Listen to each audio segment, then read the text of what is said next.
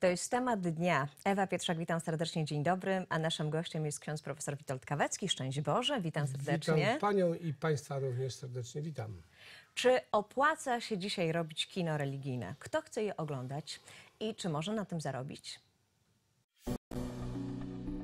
Czy filmy chrześcijańskie są nowym rozdziałem kina? Gdyby dzisiaj apostołowie żyli w dzisiejszych czasach, na pewno by korzystali z nowych środków e, technologicznych, między innymi tak, e, z takich środków jak film. Od kilku lat regularnie pojawiają się nowe produkcje filmowe o charakterze chrześcijańskim. Od stycznia możemy oglądać m.in. film Bernadetta, Cud w Lourdes, a od lutego Cierniem Boga.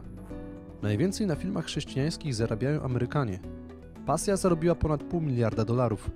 Niebo istnieje naprawdę ponad 100 milionów dolarów. A Bóg nie umarł 60 milionów. Jak zyski kształtują się w Polsce?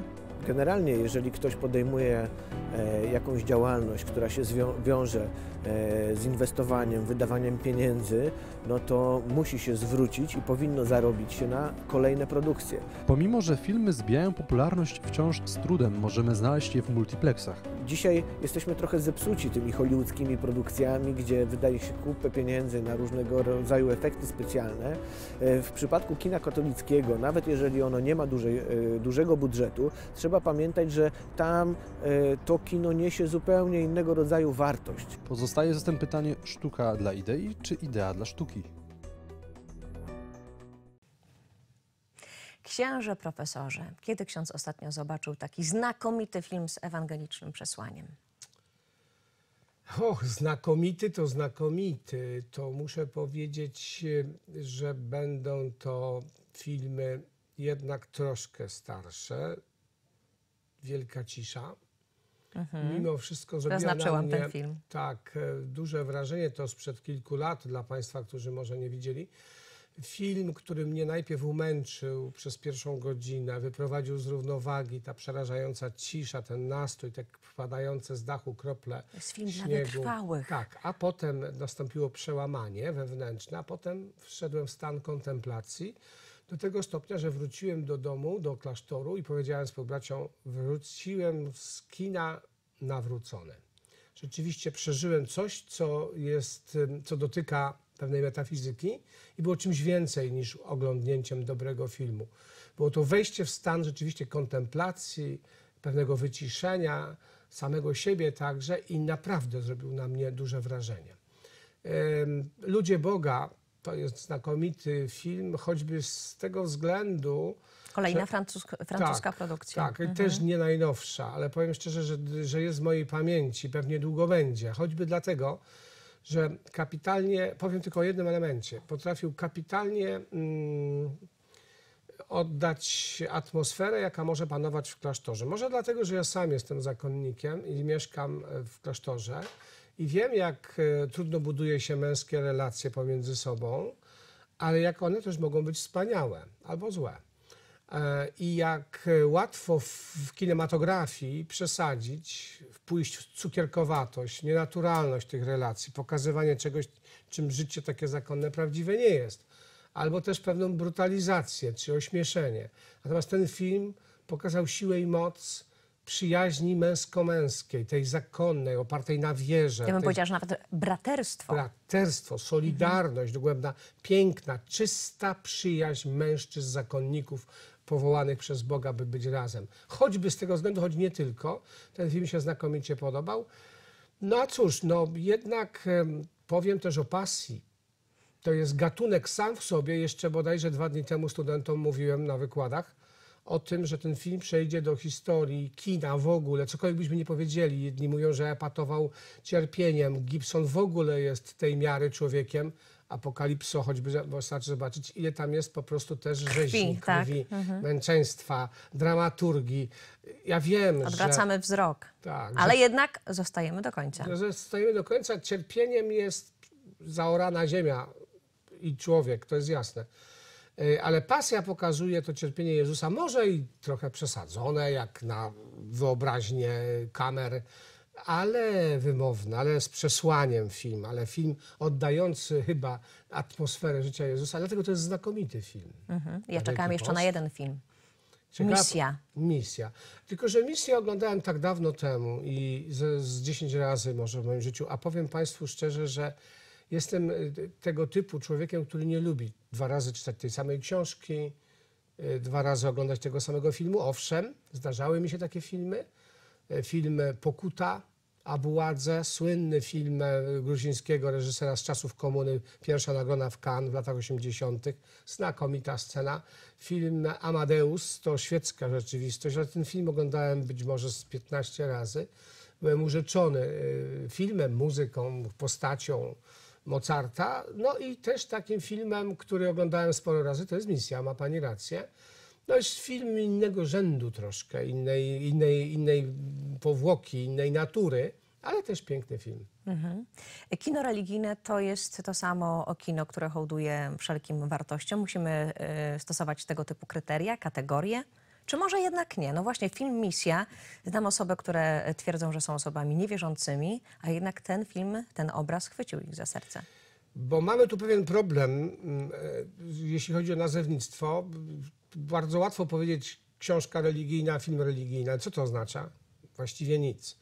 Kategoria filmu jest film religijny ogólnie, jest film biblijny, jest film moralnego niepokoju, jest film metafizyczny.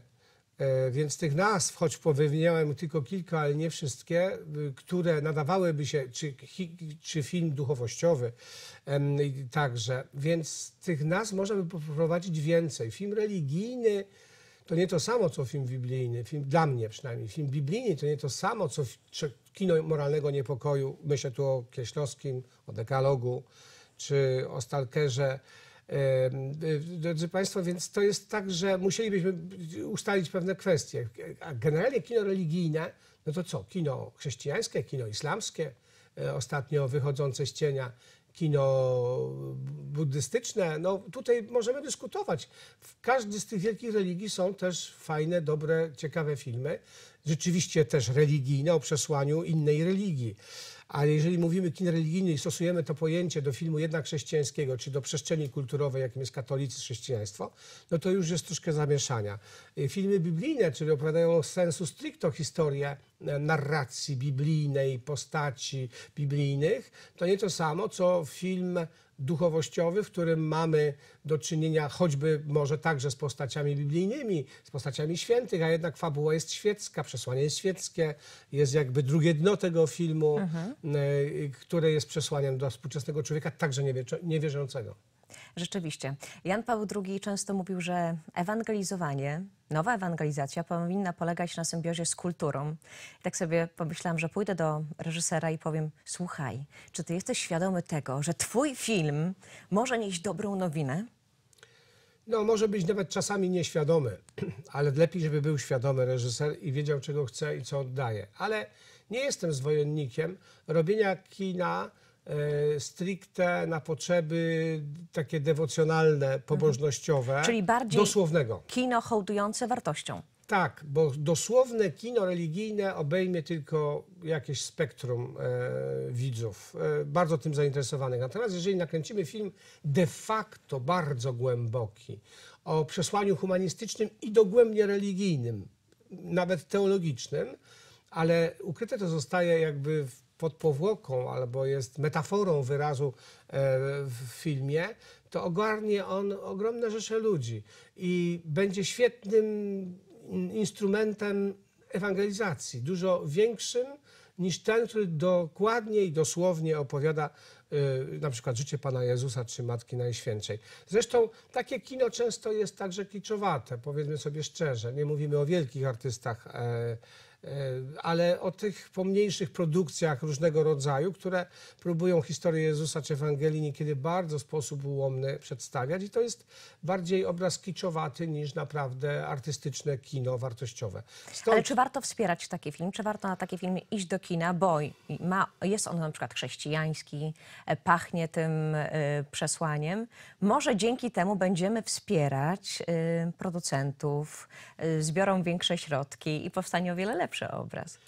Zawsze warto dobro wspierać i ewangelizacja jakiejkolwiek by ona była niewyrażona. Natomiast przede wszystkim nie, nie chodzimy do kina po to, żeby e, dać zarobić komuś, nawet bym miał intencje dobre, y, swoje w- przy kręceniu tych filmów, tylko raczej powinniśmy wspierać tych, którzy robią na potrzeby ludzi, dla potrzeby ludzi budują w tym sposób i estetykę, i wymiar teologiczny, i wymiar ludzki, i wartości, i że to wszystko razem Są jest. dzisiaj takie filmy? Są takie filmy, oczywiście są takie filmy, są takie obrazy, jest taki teatr, jest, takie, jest taki taniec, oczywiście nie w większości, ale takie filmy są. Proszę sobie wyobrazić, ja sam byłem zdziwiony, że kongregacja, e, czy papieska do Spraw Kultury jeszcze za czasów Puparda, znakomita przecież, e, że tak powiem, dygasteria kurii rzymskiej, e, obliczyła, robiła sama festiwale filmowe i tak dalej.